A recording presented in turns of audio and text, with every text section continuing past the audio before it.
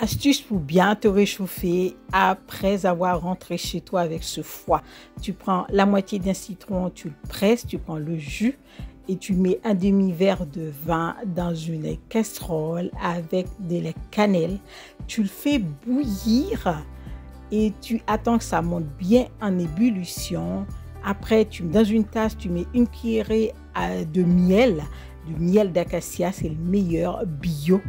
Et après, tu ajoutes ton vin chaud bouilli avec la cannelle et tu le touilles et tu laisses refroidir à la température que tu peux supporter. Tu bois ça et tu te mets au lit. Je te garantis, si tu commences à avoir de la toux ou tu as un rhume de foin, ça va t'aider et tu verras le lendemain matin, tu te sentiras mieux. Alors viens me dire en commentaire ce que tu penses. Moi, j'ai déjà essayé.